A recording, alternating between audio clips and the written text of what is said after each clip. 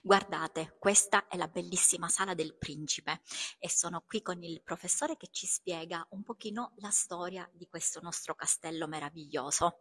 È un castello molto antico, forse uno dei migliori conservati in Sicilia, la cui storia si perde, diciamo, nel, nell'antico, molto antico. Si dice che si chiamava addirittura non Castello dei Chiaramonti, come lo conosciamo ora, ma Castello Dedalio, dal mitico Dedalo, giunto in Sicilia alla corte di Cocalo e per ringraziare dell'ospitalità ci ha costruito questa primitiva fortezza.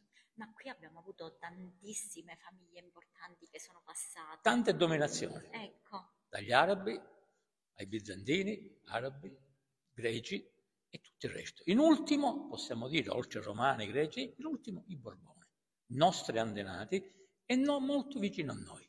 E in ultimo, in ultimo, i piemontesi che, volendo o nolendo, ci hanno governati per parecchio tempo, fin quando siamo arrivati alla Repubblica.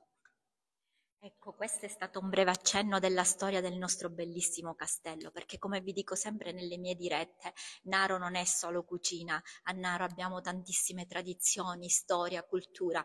Io sono qui per cucinare, preparerò una ricetta tipica del nostro territorio, un macco di fave. Professore, ecco, che ne ecco, pensa? Bellissimo, una bellissima pietanza, un piatto gourmet della cucina tradizionale di Naro, anche perché la cucina di Naro è una cucina importata e assuefatta da noi.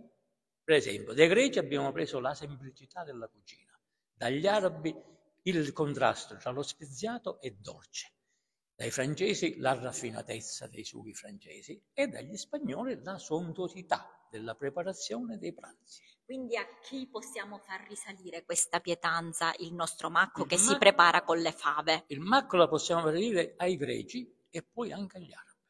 Ecco, quindi seguiteci nelle nostre storie e nella mia diretta perché oggi prepareremo questo con voi. Grazie professore. È stato un piacere. Anche per me. Ciao.